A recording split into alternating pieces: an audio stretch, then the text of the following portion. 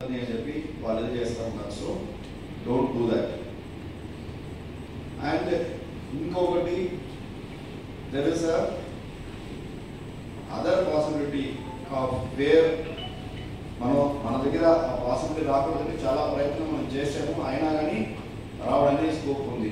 ఏంటి? Serial number of the ballot in the declaration and on the outer cover is different ఉంటే ఏం చేయాలి?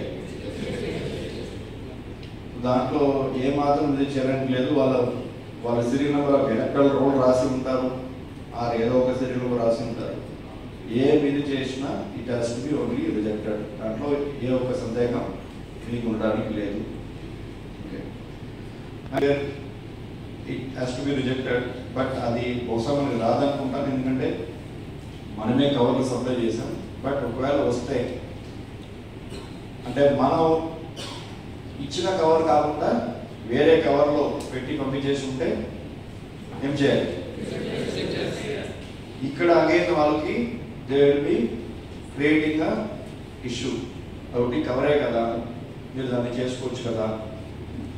ఆరు కొన్ని సందర్భాల్లో ఆ కవర్ మనం ఇచ్చే ఆల్మోస్ట్ మన కవర్ అలా ఉంటుంది కానీ we cannot accept that so దాని యొక్క క్లారిటీ తెచ్చుకోండి ఓకే అండ్ ఇనిషియల్ కౌంటింగ్ ఏవైతే మీరు చేస్తున్నారో the first thing postal ballot starting ఏవైతే మంచిగా ఒక విషయం స్టార్ట్ చేస్తే మంచిగా ఎండ్ అవుతుందంటారు. విషయం మంచిగా స్టార్ట్ అవుతుందంటే first count of the perfect count of the postal ballot అనేది ఫస్ట్ అరైవ్ అవ్వాలి. మీ నాలుగు టేబుల్లో మూడు టేబుల్లో ఇచ్చినటువంటిది ఫస్ట్ ఇనిషియల్గా ఓట్లు ఇచ్చేటప్పుడు అది రెండు వేల రెండు వందలో రెండు వేల నాలుగు వందలు.